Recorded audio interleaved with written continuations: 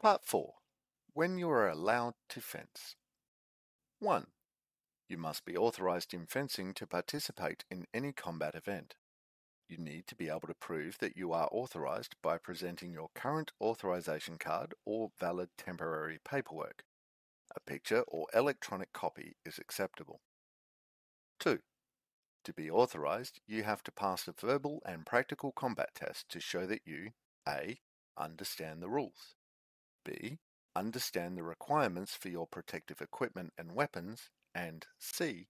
Can fight safely according to these rules. 3. If you are not authorized, you may only take part in practice sessions. This includes classes and practice combat to help you learn how to use all weapons. 4. Before you fight, you must get your equipment and weapons inspected by a marshal to make sure it complies with these rules. 5. You are not allowed to fence with impaired judgment, which includes a.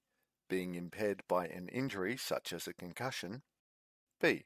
Being impaired by alcohol, prescription, or over the counter medication, or illegal or controlled substances.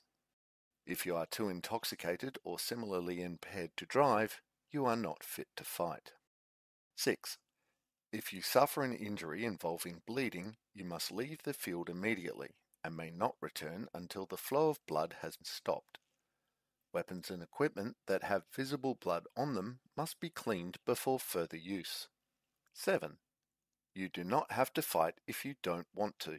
You can refuse a challenge, decide to not take part in a bout, or decide to withdraw from a fight.